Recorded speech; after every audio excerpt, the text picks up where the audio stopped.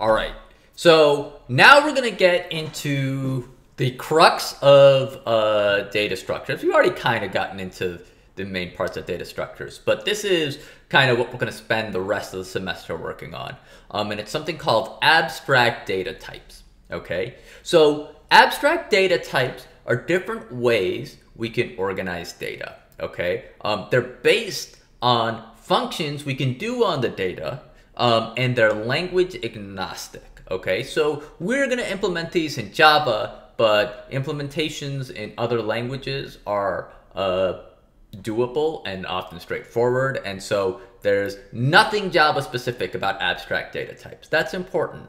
Um, in fact, abstract data types can be implemented any way you want, um, as long as they fit certain specifications.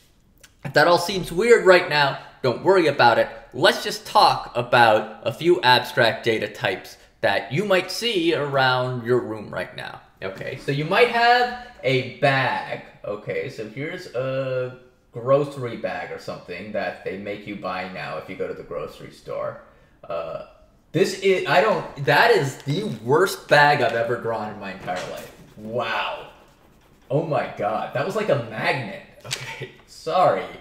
Uh, I'm just gonna do the old, the old bag from the Looney Tunes cartoons. Okay, so we can have a bag, and we're gonna just do with numbers right now, and then we will uh, maybe this lecture or next lecture talk about how you modify these things for generics. It's not super important. What I really want you to get the importance of is the coding, not like the specifics of generics, which is cool, but like not the aim of this. Um, okay, so if I insert numbers into this bag, it's kind of unordered uh, because I'm just putting stuff in a bag, and there's no real order to a bag. I mean, you can kind of try to put the eggs at the top of a bag or something, but the order really doesn't doesn't matter. So we can just keep on putting stuff in. We can repeat values if we want, and that's basically what a bag can do. You can put stuff in, and you can take random values out, or you could say, you know, how many fours are in this bag? Any fours are in this bag? That's analogous to me being like, how many pens do I have in this bag? Or uh, the most stressful thing is, how many markers do I have in this bag? Or do I have how many of those plugs that allow me to plug into the uh, projector do I have in the back? Because if you, I don't have one of those plugs, uh, they don't give you one at school. They scream at you. So uh, there you go. Welcome to Old Westbury. Um, so that's just the IT. The, the rest of the people so, so, don't listen to me. Anyways, how many fours are in this bag, right? We could ask that question. We could also say, you know, empty the bag.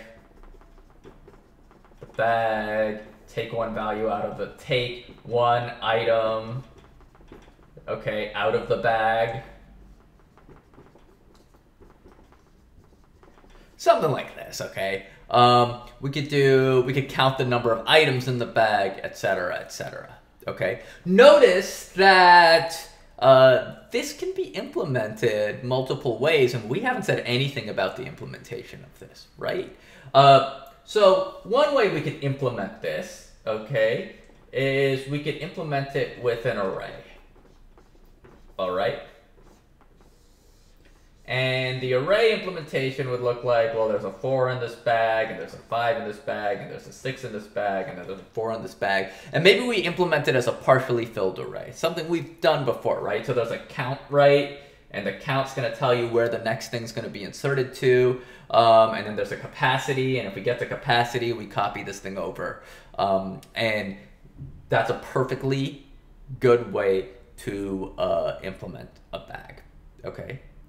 You know another way to implement a bag, and yes, I know you're screaming at the at the video monitor right now, saying what the other way is. Well, right, we could do it as a linked list.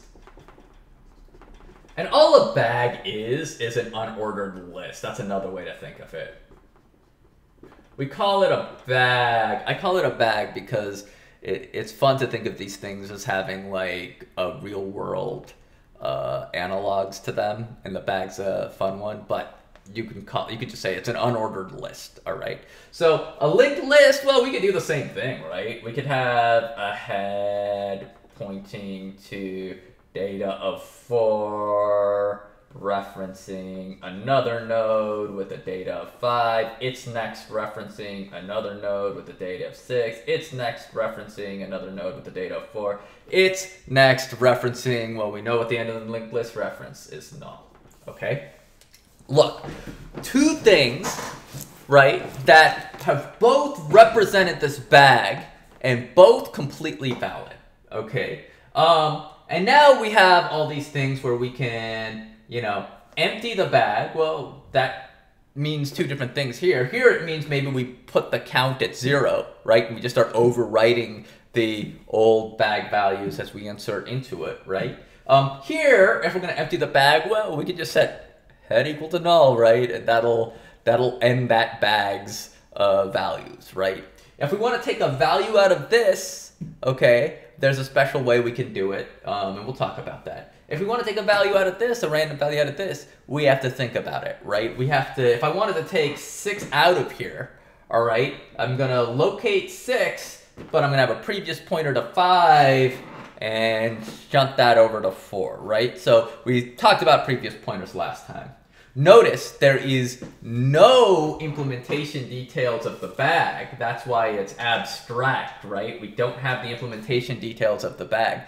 And if someone's using our bag class, they don't need to know the implementations to use it. We'll program it in one of these ways, and then they'll just say, I want to insert the number four into the bag, okay? The number four into the bag and we'll insert it into the bag. And then if they print out the bag, they'll see the number four in there. But they won't know whether we're doing it with an array or a linked list, and they don't need to know. They just need to know these high level functions. So that's the power of abstract data types. Um, and we'll look at the bag, then we'll look at the stack and the queue, things you've probably heard of before, uh, but now you'll see them formally. See you in the next video.